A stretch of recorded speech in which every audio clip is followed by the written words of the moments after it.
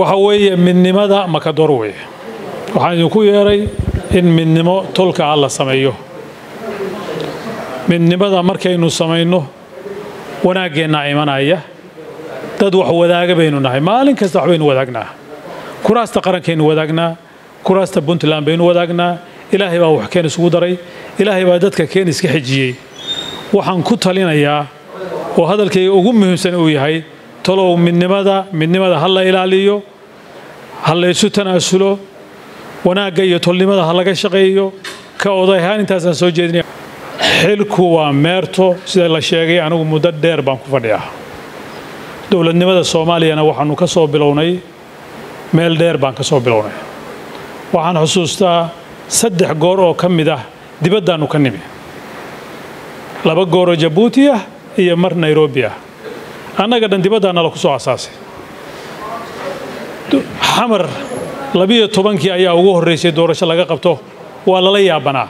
Sidee xamar uga suurtoobaysaa baa lalahaa labiyo tobankii waad maqasheen boqol iyo shan iyo soddonkii isim baa howlgalay isimadaas ayaa waxay samaynayeen beelaha ayay warqada ka soo qoraayeen. Halkan aniga reerka makadoorka ahi warqado badan bay ii soo buuxiyeen dhallinyaro iyo odayaal. Ugaaskaa loo soo diray saasaan xildhibaan ku noqday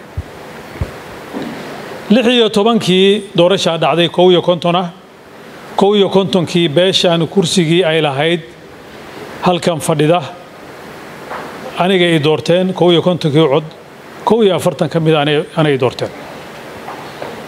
Saasaan xildhibaan ku noqday. Marka dowladnimada soomaaliya meel dheer baa laga keenay haddana doorashaynu sugaynay boqol iyo waxaan leeyahay sanad iyo bar.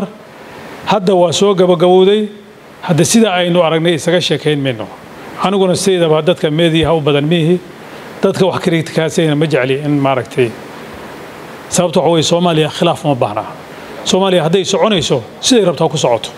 Innaga qaran soomaaliyeed baan rabnaa oo dhisan.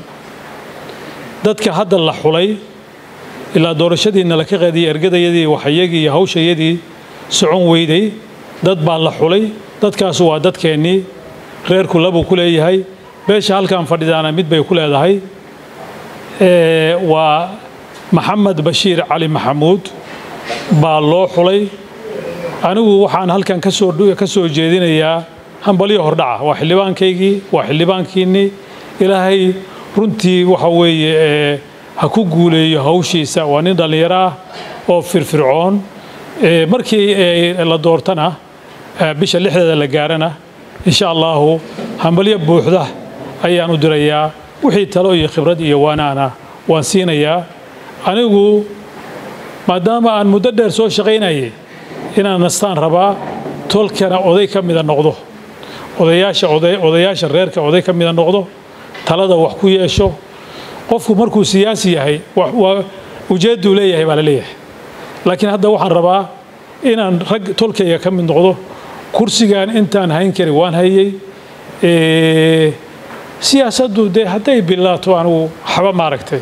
Laakiin midaan maanta u ordaayo xildhibaan ha ahaato ama wasiir ha ahaatee anigu waxaan runtii wax degdeg oo igu jiraan. Ma jiraan waxaan qabaa bahashaanu inay meerto tahay. Xildhibaankaas cusubna inaan la shaqayno garab istaagno nin dhallinyaraha oo cusub weeye ayaan rajaynayaa. Sidoo kale xildhibaankeenna puntland jaamac yaasiin horeyna waa ula shaqaynay haddana inaan la shaqayno weeye. Dowladnimada soomaaliyeed inay istaagto innagaa danino ku jirtaa. Dalkeenna wax kale kama jiraan fakhri baa ka jira. Dalkeenna waxaa ka jira waa fakhri weeye. Fakhriga waxaan kaga bixi karnaa waxa weeye. Fakhriga waxaan kaga bixi karnaa in dowlad la helo in maalgelin la helo in shaqo abuur la helo. Kulli hadda dadkao dhamme xildhibaan ay wada raadinayaan dadku siyaasadda ay ku mashquul yihiin. Waxa waa laga bixi lahaa.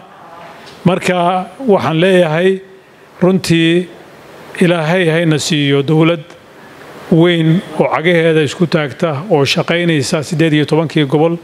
Ayaan ilaahay ka rajaynaynaa inay noo curato waana la sugayaa. Runtii aad iyo aad baan mar labaad iyo mar saddexaad idinku mahad celinayaa ujeeddada qadadeedu aniga intaa ma dhaafsiisna. Doorashadiina haddee markaan arkay xaalkeedu meeshuu marayo anugu waa ka gaabsaday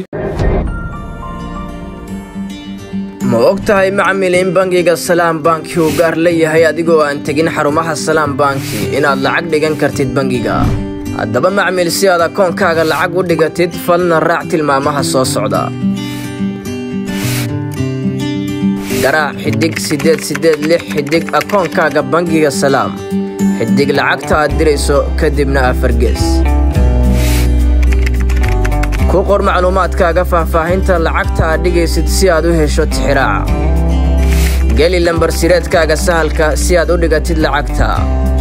Waaw macmil waad ku guulaysatay inaad dhigato lacag akoonkaaga ku raaxayso oo isticmaal adeegyada salaam bank